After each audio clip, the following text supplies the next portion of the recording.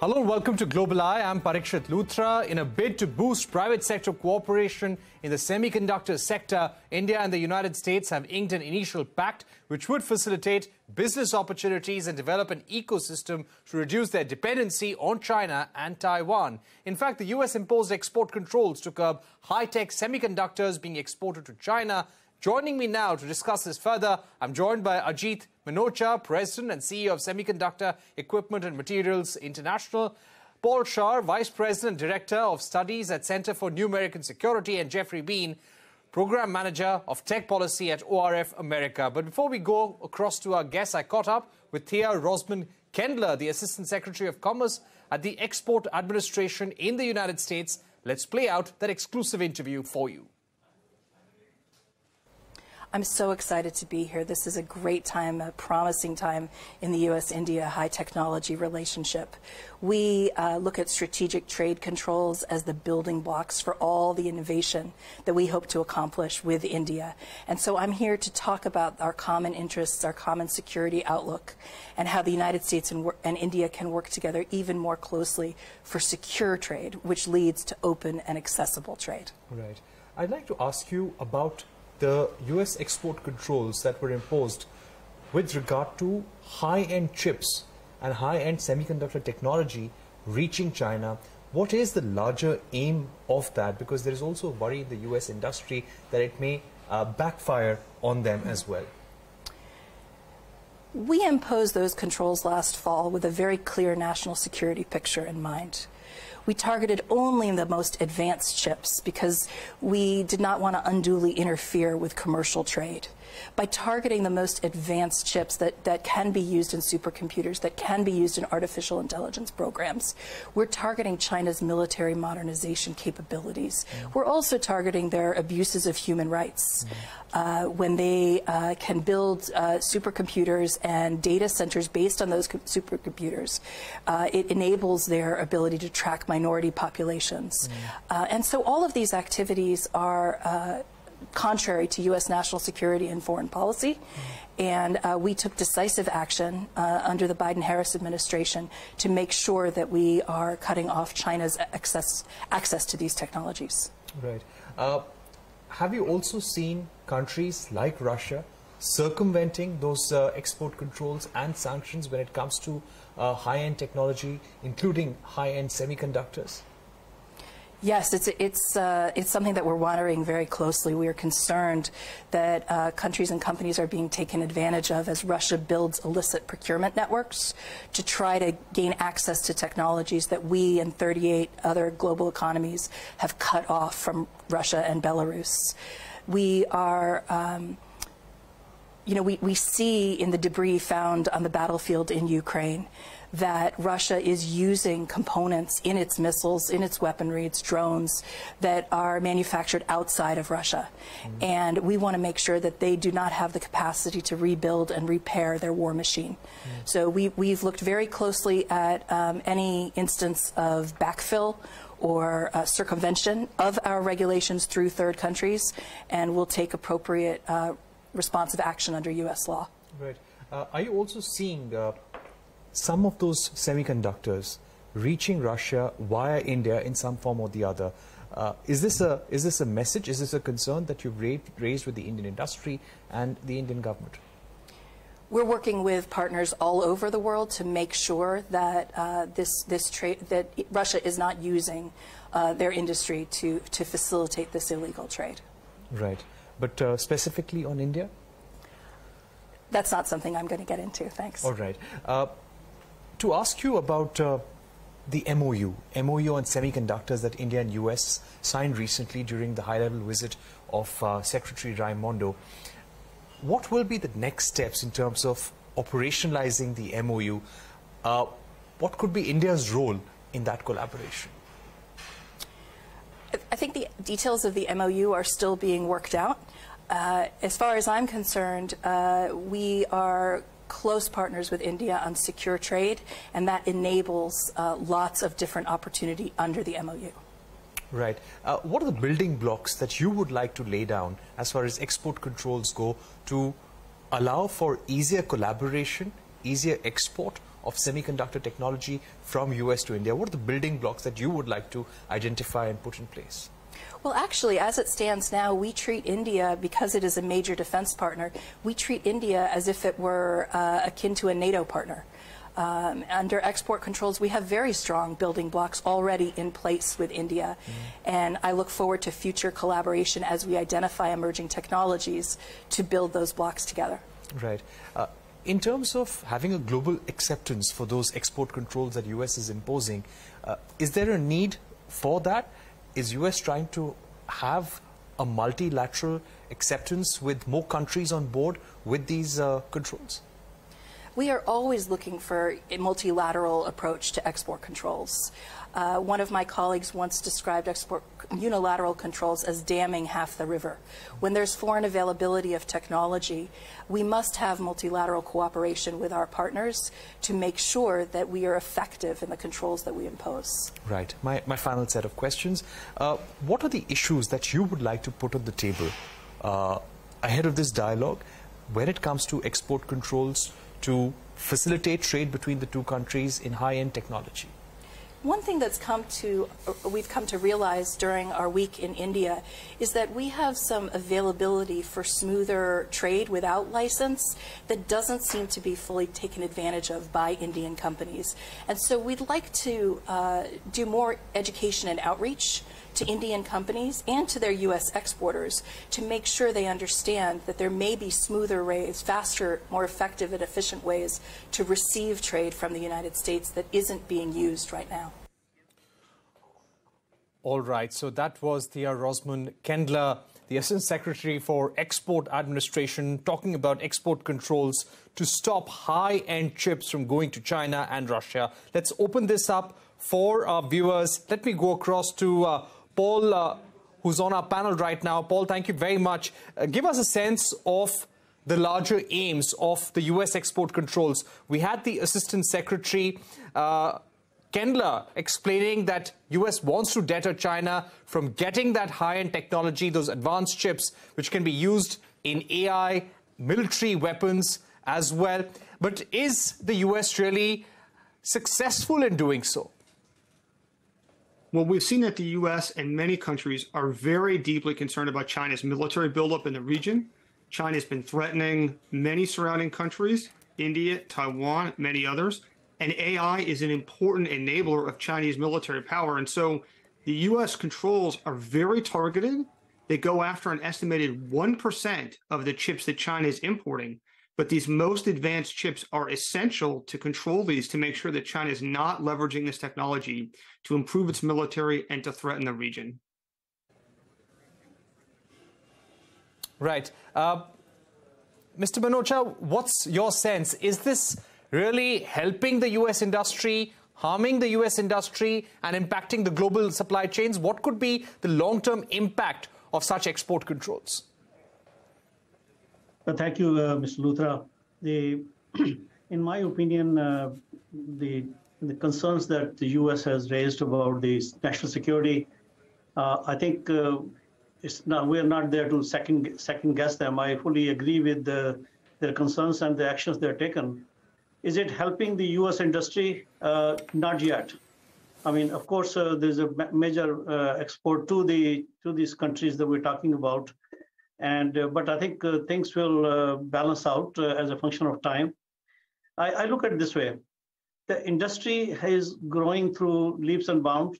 I mean, our industry was 600 billion dollars IC revenue last year, and it's going to go to one trillion dollar by 2030. So there's a need for growth of this industry, and uh, I see that USA India collaboration will really help to create another uh, hub for semiconductors and there's a need for that. Right. Uh, Jeff, if I could bring you in on the specific aspect that the Assistant Secretary had spoken about, about how Russia is able to circumvent the U.S. export controls. They are being able to procure semiconductors, essential components necessary to make weapons from third countries. How is Russia doing that? How can the US act against those companies, uh, those countries? Does it really have the wherewithal, or would it need multilateral consensus to really implement these export controls successfully and take action uh, against countries which are supplying these semiconductors to Russia? Thanks, Rashid. Uh, great question. I, I want to emphasize that with respect to smuggling these chips, some of them are extremely small, especially at the, the die size level. So uh, you have to have a really fine net if you were hoping to capture all of these ships uh, reaching uh, the battlefield in Russia. However, the point you make about multilateralizing these controls is a really important one. Uh, in the uh, imposition of the export controls that were announced in October of last year with respect to semiconductors, their focus, as uh, you and colleagues have pointed out, on advanced GPUs uh, at the data center level, on China's uh, capacity to focus on supercomputer development in the future, and of course on China's ability to manufacture uh, advanced chips. And so, for the United States to make an effective policy, the controls as they were announced were unilateral and extraterritorial. And it, the U.S. secured a key win earlier this year in its uh, ability to convince the Japanese and Dutch governments to jo- join an agreement to limit semiconductor manufacturing equipment sales uh, to China, uh, to Russia, and to uh, other uh, geopolitical competitors and, and, bad actors. And so, with this development to uh, allow the U.S. to prevent uh, in conjunction with other global like-minded partners and allies, the sale of extreme ultraviolet lithography equipment, as well as the next step down uh, to deep ultraviolet lithography immersion equipment to China and other actors. That's a clear win in terms of multilateralization. From my perspective, the next step will be can the U.S. bring uh, other partners and allies uh, on board that are like-minded to secure the supply chain in the other areas of chips that they've identified with respect to the export controls. That will be key. All right, uh, we're going to take a short break at this point, but don't go anywhere. Our extensive discussion with Paul, Jeff Bean, and Ajit Manocha continues on the other side. We'll be right back in a short while. Welcome back. You are watching Global Eye. We're discussing the geopolitics of semiconductors and what India and US can do together and what possibly Taiwan can do as well. We still have with us Ajit Manocha, President CEO of Semiconductor Equipment and Materials, Paul Scharre, Vice President and Director of Studies at Center for New American Security, and Jeffrey Bean, Program Manager, Tech Policy at ORF America. Paul, if I could come with you, uh, do you see certain points where the CHIPS Act and the semicon policy of India to promote semiconductor manufacturing can complement each other? Oh, absolutely. The US and India both have a shared interest in growing India's role in the semiconductor industry at a number of places whether that's in fabrication, in making the chips, in design, in the advanced testing and packaging that comes to assemble the chips and put them together, and in the manufacturing of finished electronic devices.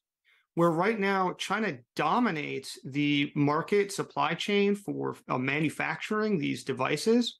And so a lot of electronics right now, they might be, you know, chips that are designed in the US, they're made in Taiwan and then they're assembled in China. And China has an outsized role in the supply chains. And we've seen over the last couple of years how much that's a risk, how much being dependent on a country where you don't trust them, you know, it's not clear if you have these vulnerabilities, how China might weaponize that. That's not in uh, any of our country's interest. So finding ways to work together to grow India's role in the semiconductor supply chain is vitally important and it's certainly a priority for the United States. Right. Uh, but, Jeff, is it really worthwhile? Because the entire urgency around semiconductors came with COVID 19 when we suddenly realized that uh, there was a surge in demand for electronics and we have fallen gravely short of semiconductors.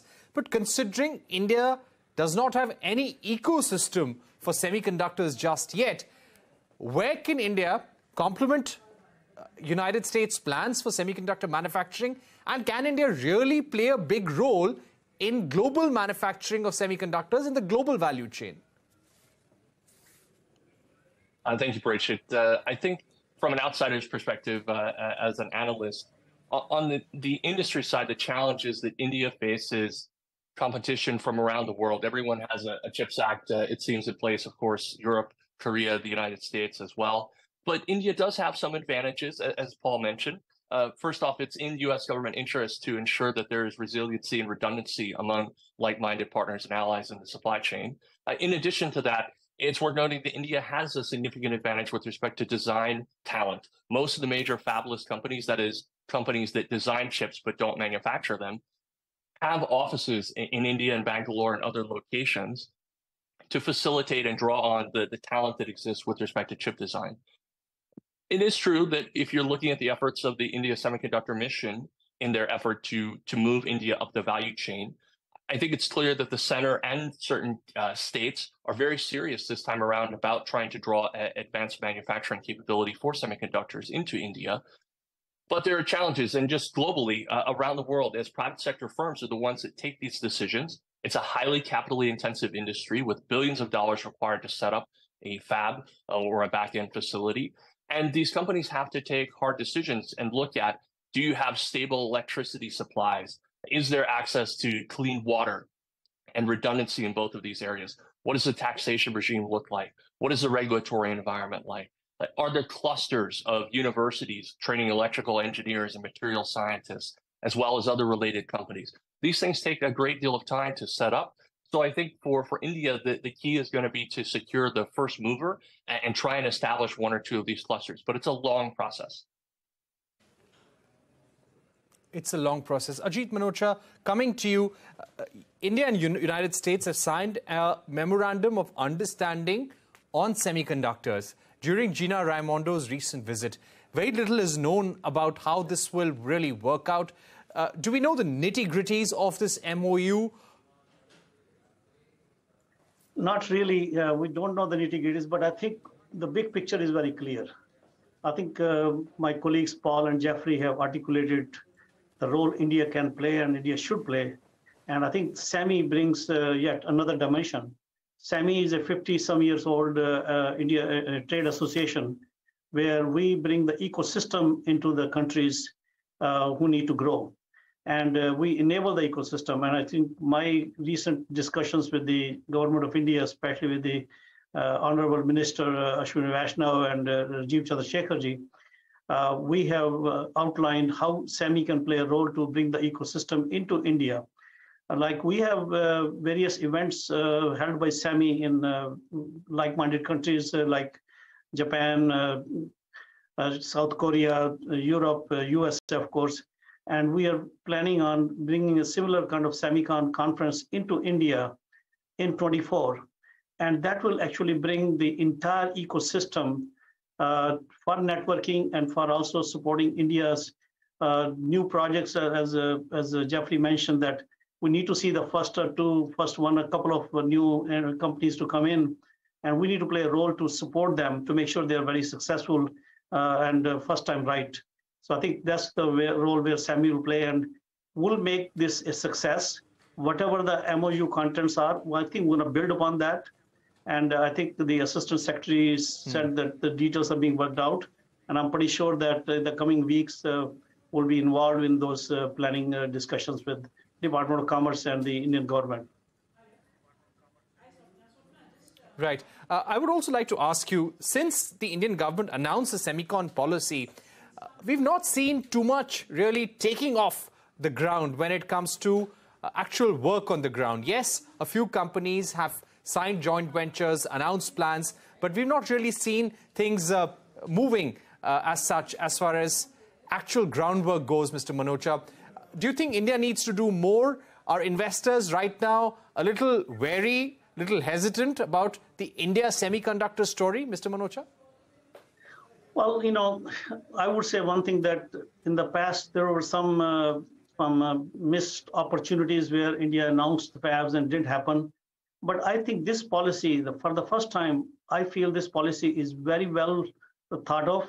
It underpins the, the, the various comments and inputs I've been giving, and uh, I think India has been receiving from other uh, semiconductor veterans as well. I, am very pleased with the progress that going on under the India Semiconductor Mission.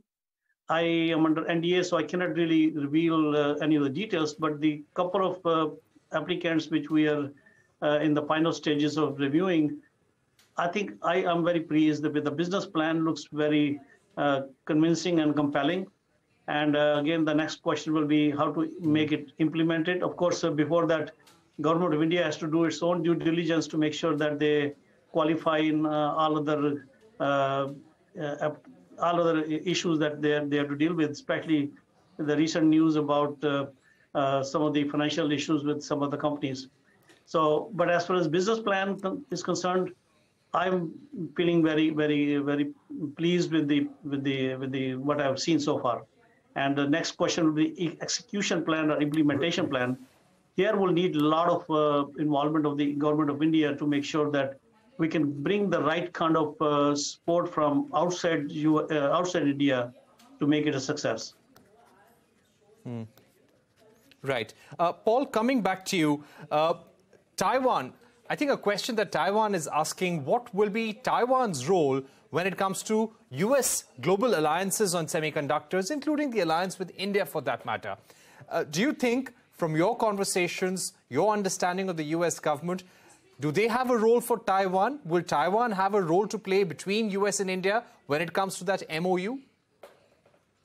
Well, Taiwan, I think, is under any scenario going to continue to be the leading hub of semiconductor manufacturing, particularly for the most leading edge chips. And that's not going to change. The lead that TSMC has over other companies is remarkable. Um, really, other than Samsung in Korea, there's really no other country, uh, companies that are competing up at the leading edge. And so I don't think that's going to change. We've begun to see TSMC look to diversify some of its manufacturing. They're placing um, a close to leading edge fab in the United States. So that's, I think, an important consideration. And they are playing a very active role, both the company and the Taiwanese government, in working with other countries, United States, uh, Japan, the Netherlands, others, including, uh, I think there's a lot of opportunity for them to work with India as we think about diversifying supply chains, creating more resiliency. But I don't think there's any scenario in which Taiwan doesn't continue to be a really important focal point for leading edge semiconductor manufacturing in the future. Right. Uh, Jeffrey, uh, we've run out of time, but very briefly, can Taiwan play a role in helping India skill its workforce when it comes to semiconductor manufacturing? Yeah, I, I, agree with Paul. There's not going to be a scenario where Taiwan isn't uh, at the forefront of the semiconductor ecosystem. With respect to the the plans that India has put forward, uh, I think there is a potential role for collaboration and, and training. Of course, uh, my understanding is of the bids that have been publicly discussed, uh, Vedanta, uh, Foxconn. Of course, Foxconn is a is a Taiwanese uh, and Chinese company.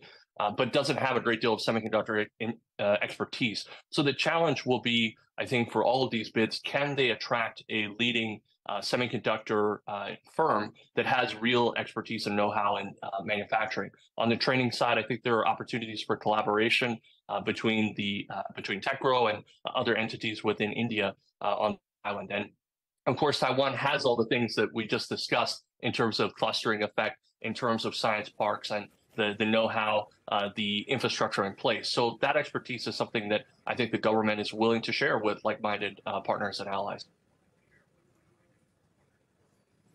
All right, uh, we run out of time, but uh, Jeffrey Bean, Paul Scharre, and Ajit Manocha, thank you very much for joining us here on Global Eye, giving us your view on India-US uh, collaboration on semiconductors and US uh, attempts to form uh, alliances on chips to really have strong supply chains. That's all we have time for on Global Eye. Thank you for watching. Goodbye.